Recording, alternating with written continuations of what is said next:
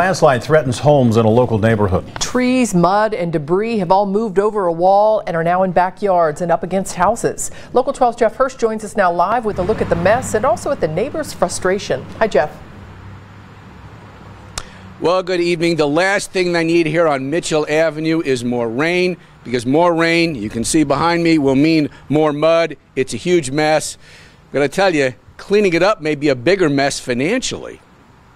They say whatever goes up must come down, but the hill behind your house is supposed to stay up.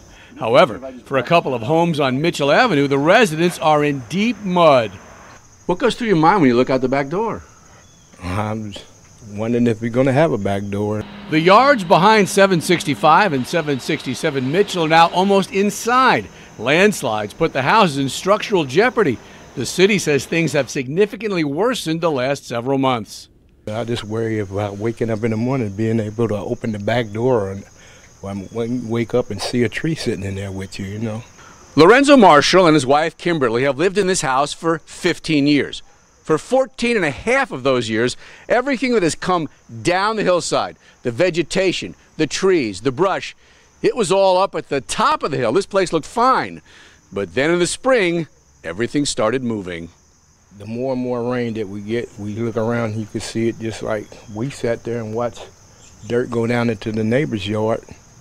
And me and my wife sat there for an hour just watching it just slowly fall down and just slide.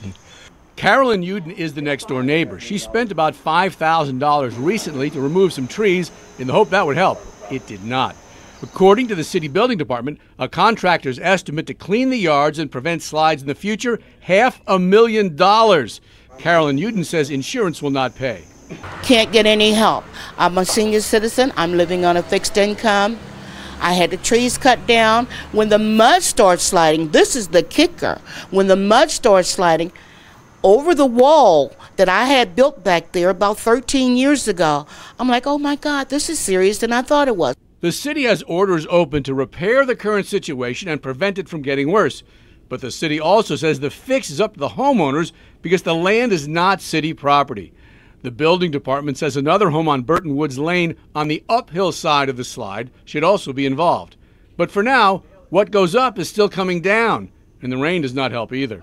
Come November, I'll be here 27 years. I've never seen, and we've had rain, I mean, we've had storms since then. Never seen anything like this.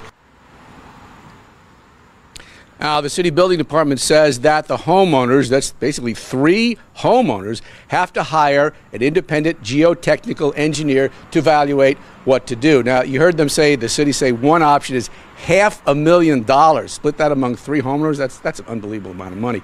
There is a potentially cheaper option, a lot cheaper. It's a water control system to you know, make sure the water flows a little differently. But the city says that until this engineer, independent engineer, is hired by the homeowners and it comes up with a solution that is acceptable to City Hall and the homeowners, nothing should be done. So, you know, it's it's just going to keep coming down until they figure out what to do and who's going to pay for it.